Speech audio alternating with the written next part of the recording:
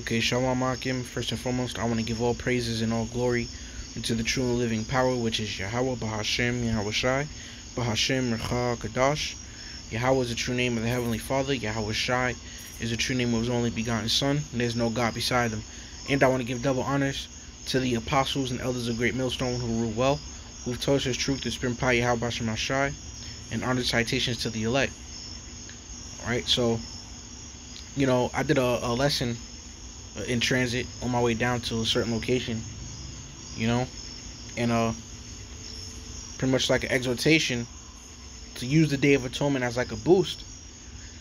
All right, to begin to uh, uh, uh be more diligent, you know, uh, more sincere and so forth. But I gotta touch a way more on, all right, uh, uh, uh on how important this day is as far as the Lord forgiving us for our sins, you know, as well, because that's first and foremost. And then we can get into, uh, all right, using it as a, as a stepping stone to Lord willing grow in the spirit. So, first and foremost, the word atonement, it means reparation for a wrong or injury. In religious context, reparation or expiation for sin. So as you can see, it says uh, reparation for a wrong or injury. What's the wrong? Sin. Our sins. Because sin is wrong. And a reparation, of course, is what? Payment. So getting, uh, uh, uh, like it says here, payment compensation. So, so we uh, uh, go on this fast, you know, slash a Sabbath you know, meaning we rest, we don't do any work. Okay, to the best of our ability, of course. You know, but as far as fasting, you gotta fast. You know, but that is the payment to the Lord for our sins to make everything right. Okay? Because when you get your reparations, when you get your compensation, when you get your payment, that makes everything right. Okay? So we go on this sin, we have this day of atonement to make everything right with the Lord. Okay, first and foremost. So now this Day of Atonement is like a it's like a clean slate unto us. You know? The Lord forgives us for our sins. Right? And now we keep it pushing, moving on forward. So let's see how important it is when the Lord forgives you for your sins.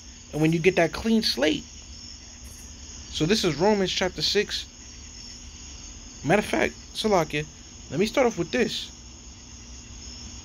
It is wow, it's already here. Right here. Wow. I did not know that this I didn't know what was gonna come up. I was getting ready to search it and it's right here already, man.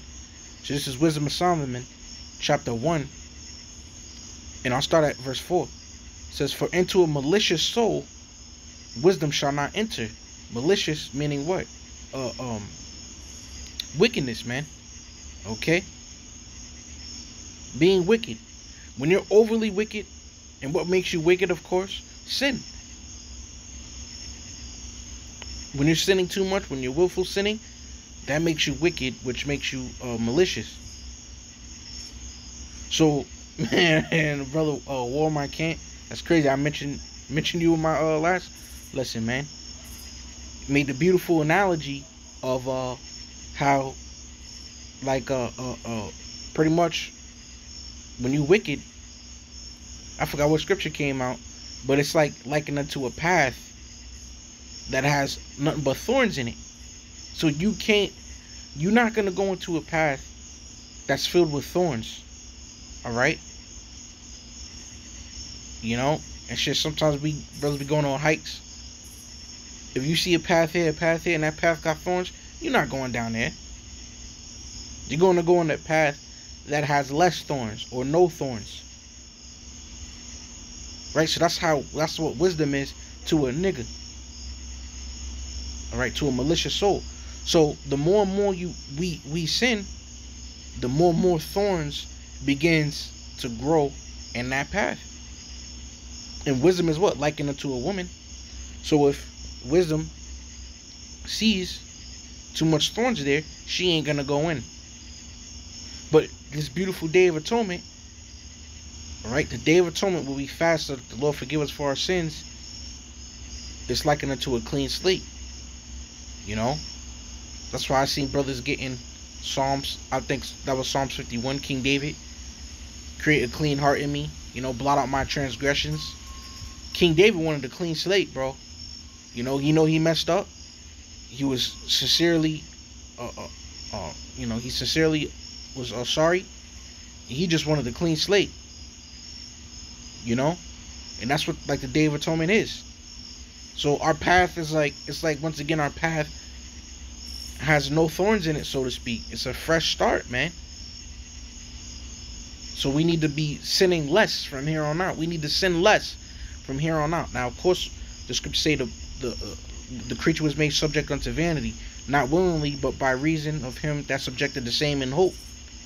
You know, so we we're made we're subject to sin. We're gonna sin, but we need to sin less. You know, we need to keep more more Sabbaths. All right, and so and so on and so forth, man. You know, so again, wisdom of Solomon 4 for into a malicious soul, wisdom shall not enter, nor dwell in the body that is subject unto sin. See, so go sinning too much, man. All right, sinning too much wisdom if you sinning too much, wisdom ain't gonna dwell with you, man. So what what happens? So the less you sin, the more wisdom could dwell with you. See, the more you keep in the Sabbath, the more you begin to fast. All right, so on and so forth. The more wisdom can begin to dwell with you. Verse 5 For the Holy Spirit of discipline will flee deceit and remove from thoughts that are without understanding and will not abide when unrighteousness cometh in. And what's unrighteousness, man? Constantly sinning too much. And it's yo, that's yo, man, I'm telling you, man, the Lord is so beautiful. You know, one of Apostle recall lessons a while back, he said, Yes, we are supposed to keep the laws to the best of our ability, man. Yes. Alright. You know, IUIC is right in that aspect. They all about the laws, the laws, the law, but they need to be more about faith, faith, faith as well. They don't got a balance. You know? But yes, we are supposed to be keeping the laws to the best of our ability. Okay?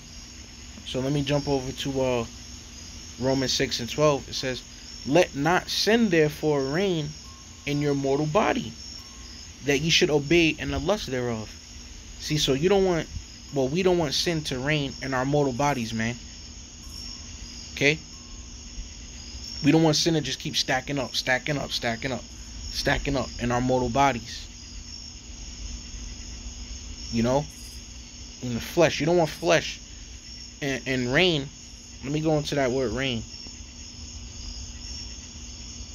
So yeah, we gotta keep these law statutes commandments to the best of our ability.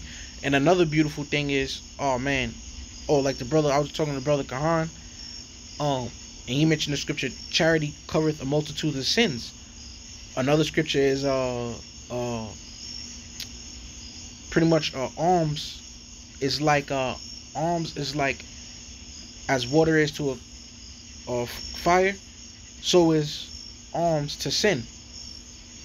So that's another thing. We need to be paying tithes, man. You know, we may forget. I know I forget sometimes, but I'm, you know, hey, hey, you, you know what I'm saying? You ain't supposed to blow the trumpet, whatever, but we we gotta uh, jump back on that, man. All right, because that'll clear up some of those thorns, so to speak. Paying tithes, that'll clear up some of those thorns on on on, on your path, so to speak, so that wisdom could come through. So this is reign. It says to be king, to exercise kingly power. See, so you don't want sin to be king over you. And sin coincides with what? The flesh.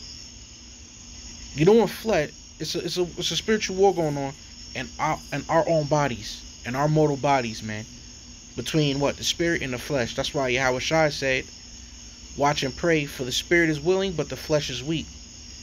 So what's sitting on your throne? What's sitting on the throne of your temple? Is it the flesh or is it the spirit?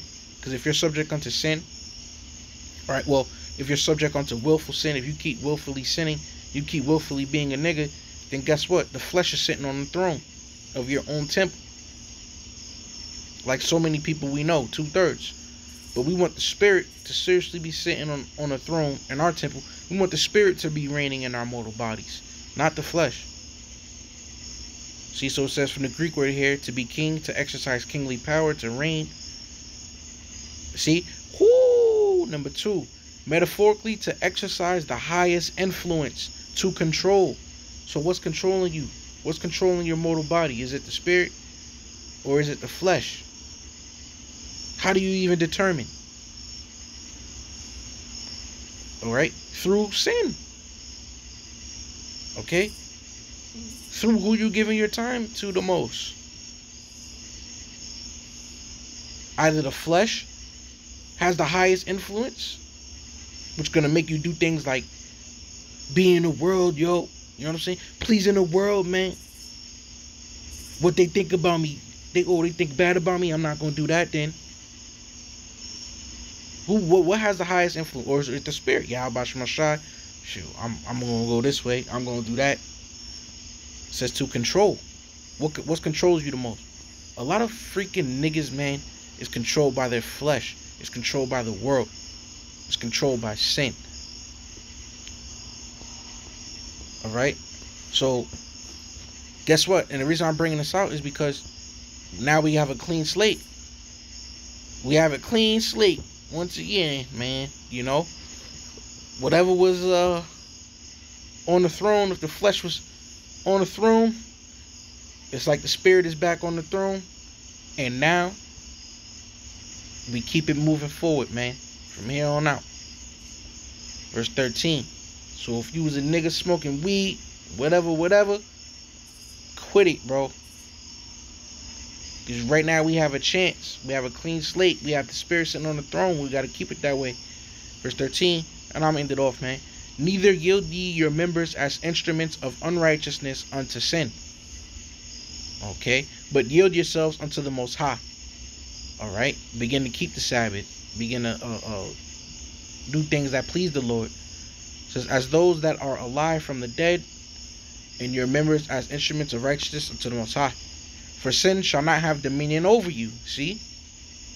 Because what happens when sin has dominion over you? Wisdom can no longer uh, dwell with you. But now we got a clean slate. For ye are not under the law, but under grace. What then? Right, but but we're under grace. That's the thing, man. And that's another big deal. This is where IUIC need to step step step up more and speak about grace that Yahweh Shai paid for us, man. But at the same time, what then? Shall we sin? Because we are not under the law, but under grace? God forbid. Know ye not that to whom ye yield yourselves servants to obey? A lot of niggas yield themselves servants to obey the world, the flesh, man. Satan, ultimately, and they don't even know. His servants ye are to whom ye obey. His servants ye are to whom ye obey. See? See? Oh man, I, I feel that true, but wifey would never let me go out on Saturdays and teach this. Well, you just yield yourself as a servant unto Satan, whether of sin unto death or of obedience unto righteousness. See? Alright? But the most high be think that ye were the servants of sin when we was in the world, when we was niggas. But ye have obeyed from the heart that form of doctrine which was delivered you, being then made free from sin, you became the servants of righteousness. All right, so that's pretty much it, man. You know, Lord willing, this is edifying, man. All right, uh, uh, uh, you know, so the main points, you know, uh, try to sin less, and wisdom will sup with you more. And what happens when you get wisdom? Wisdom bring it to a kingdom at the end of the day. To sum it up, wisdom does so much for you that at the end of the day, you could just say it brings you to the kingdom